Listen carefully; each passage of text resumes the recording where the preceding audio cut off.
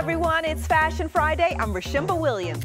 As we get closer to Hollywood's biggest night, the Oscars, the stars have been turning up the fashion heat. Check out my top seven fashion favorites of the week. The Screen Actors Guild Awards carpet was a fashion feast. Harriet's leading lady Cynthia Erivo is known for wearing deconstructed silhouettes, but she was simply magical in this color block Schiaparelli gown with bustier and oversized ball skirts. And This Is Us star Sterling K. Brown was the essence of cool in an 18th Amendment black and white checkered single button tux and fashion forward shades.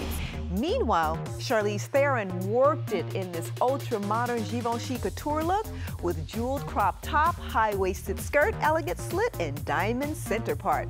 Also, Lady in Red Danai Gurira commanded the spotlight and radiated in a bold crimson Mugler creation. Jennifer Lopez has an innate sense of style, but Jenny from the block kicked it up a notch wearing $9 million worth of Harry Winston rocks enhancing her sleek black off-the-shoulder gown with full-size bow and elongated train.